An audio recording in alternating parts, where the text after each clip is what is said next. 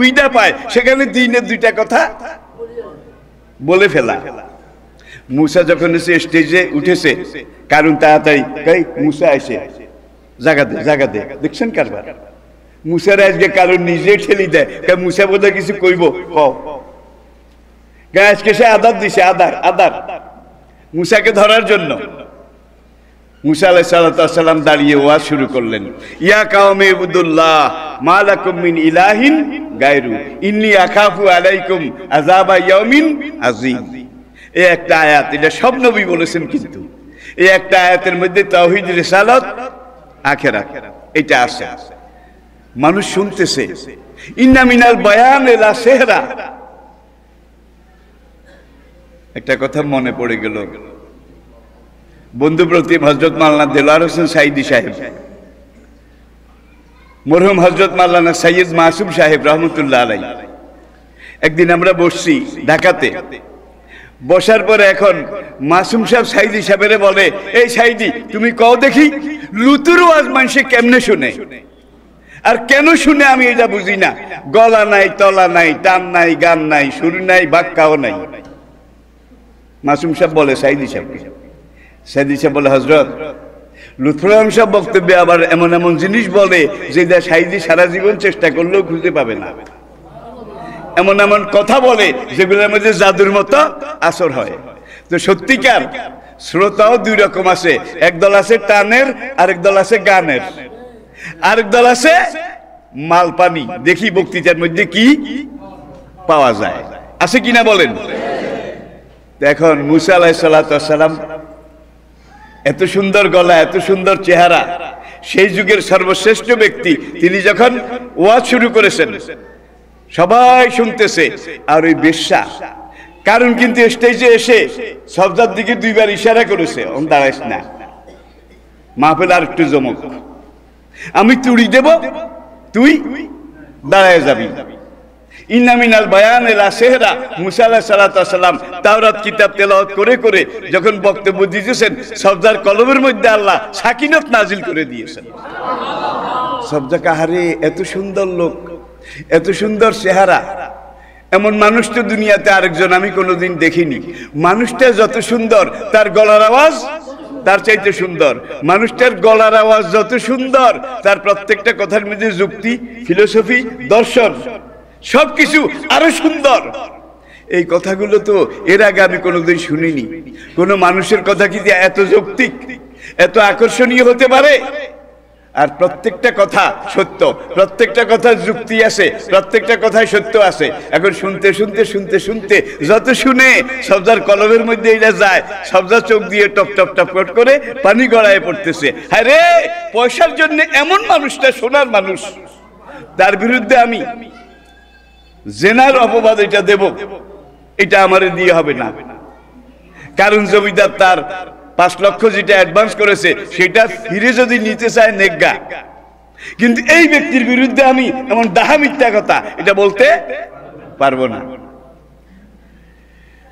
মাহফিল খুব জমজমাট সবজা কান্দে মাঝে মাঝে শাড়ি, ওড়না, রাসুল দিয়ে চোখ মুছে। কারণ এইটাও লক্ষ্য করল যে হারামজাদিতে বোধ হয় মুসার মন্ত্রের মধ্যে পড়ে গেছে। আমার কাম হয় নাকি না হয়, এটারই তো কোনো বিশ্বাস নাই। কাম যদি হয়, তা হইল সই, কাম না হইল সই, কারণ এটা বাতিনি লাইন, ঘুষের লাইন। কাম হইল হবে, না হইলে কাউকে বলাও যাবে না, কওয়াও সে এখন ওই পাঁচ লক্ষ দিন আর কালকে অ্যাডভান্স করেছে, এটার জন্য পাগল হয়ে গেছে। উঠ উঠ উঠ সবজা উঠে না।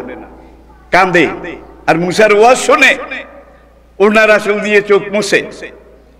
কারণের ভয় ধরে গেল যে পড়ার মুখী যদি না উঠে, তাহলে আজকে আমার টার্গেট পুরো হবে না। যে নিয়তে আমি আসছি, ওকে ভাড়া করেছি, সেটাও হবে না। আর পাঁচ লক্ষ সোনার মোহর, এটাও অপঘাতে চলে যাবে। সে স্টেজ থেকে নেমে পিছন দিয়ে গিয়ে মানুষের ভিড় ভাগ করে করে করে করে ওই তেরো নম্বর পিলারের দিকে যায়। কার কাছে? তেরো নম্বর পিলার, কার কাছে? সবজার কাছে। গিয়ে পিছনে বসে সবজা উঠ উঠ। কি কথা ছিল? সেটা বলে ফেল, এই যে তোর অ্যাডভান্স যেটা বাকি আছে তার দশের যেটা বাকি বাকি পাঁচও নিয়ে আসছি, উঠ। তোকে যেটা বলে দিয়েছি, সেটা তুই এখনই বলে দে। এখান দিয়ে গুতা, সবজা এইদিকে মোট দেয়। এখানে গুতা দেয় ওর গোদাঙ্গুলের গুতা। বেচারি বেশ্যা হইলেও তো নারী। অবলা, দুর্বল। এই গোদাঙ্গুলের গুতা কতক্ষণ সহ্য করা যায়? গুতাইতে গুতাইতে বিরক্ত হয়ে সবজা উঠে দাঁড়াইছে। কারণ ডগ্গি লেখা হাফ ছেড়ে বেসেছি, আজকে আমার গুতার মধ্যে লক্ষ্মী আছে। যদি গুতা এগুলা না দিতাম, সবজা উঠতো না। যেটা শিখিয়ে দিছি সেটাও বলতো না। আমার পাঁচ লক্ষ দিন আর এটাও মাঠে মারা যেত। কারণ খুব খুশি। সবজার পিছনে বসে বসে হাসে। কথাটা বলে দিলেই তো সবাই মিলে মুসাকে ধরবে। ওয়াজ করো বড় বড় কথা কও বেশায় কি কয়? সবজা দাঁড়ায় কয়, ভাইয়েরা আমার আমার নাম সবজা বেশ্যা কেউ আমাকে নামে চিনেন কেউ কাস্টমার হিসেবে চিনেন। এই কারণ এই দেশে জমিদারি করে এত টাকা পয়সার মালিক। কিন্তু আপনারা জানেন না কারণ আমার পার্মানেন্ট কাস্টমার এমন কোন রাত্র যায় না, সে আমার আসরে আস্থানে গিয়ে আমার সাথে ব্যবচার না করে। ওই আল্লাহর কসম করে বলছি, যিনি আমাকে সৃষ্টি করেছেন, তৈয়ার করেছেন, সেই আল্লাহর কসম। মুসার মতো এত ভালো মানুষ, এত সুন্দর মানুষ, এত যৌক্তিক, তার্কিক মানুষ, এমন একজন মানুষ, আমার জীবনে আমি জীবনে দেখি নাই। মুসার প্রত্যেকটা ওয়াজ, প্রত্যেকটা কথা আমার হৃদয়ের গভীর কন- কন্দরে, প্রত্যেকটা রন্ধ্রে রন্ধ্রে এমনভাবে ঢুকেছে, আমার ভিতরে একটা আলোড়ন সৃষ্টি হয়ে গেছে। আপনারা শুনে রাখুন, আমি সাক্ষ্য দিচ্ছি ইল্লাল্লাহু মুসা কালিমুল্লাহ। বলবে কি? বলল কি? হবে কি আর হলো কি? কারণের মাথাটা আকাশ ভেঙে পড়েছে। সবদা তুই কি করলি? এটা কইছি, ঠিকই কইছি। ধর, আপনারা সাক্ষী থাকেন, ও কালকে রাতে আমাকে পাঁচ লক্ষ অ্যাডভান্স করেছিল, সেটা আমি ওর মুখের উপরে মেরে দিলাম সবাই সামনে। কিন্তু মুসার মধ্যে এমন একজন ভালো মানুষের বিরুদ্ধে আমি এই ধরনের দাহা মিথ্যা কথা, বেশ্যা হইলে অত এমন দাহা মিথ্যা কথা বলা আমার পক্ষে সম্ভব নয়।